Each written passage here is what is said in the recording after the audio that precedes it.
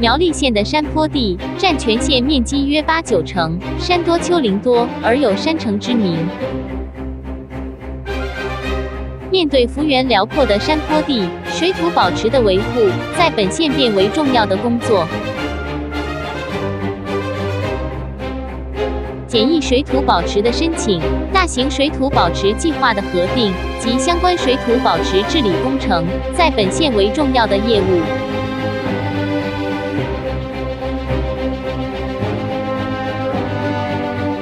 除此之外，在预防性的业务重点在于山坡地的违规查报取缔工作，杜绝非法造成相关水土保持的破坏。本府对于查报取缔业务，已有既定程序来办理。目前更应用无人空拍机，在较易发生违规之区域，以每四平方公里的范围进行高空摄影。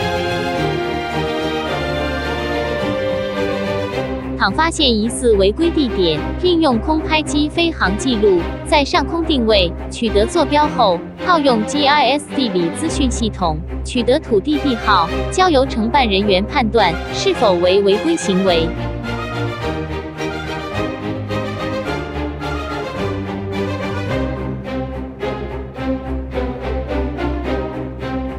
对于违规案件，利用空拍机记录前后其影像是否有扩大开发，或依规定办理水土保持之维护，以作为资料建制，作为案件后续办理的参考。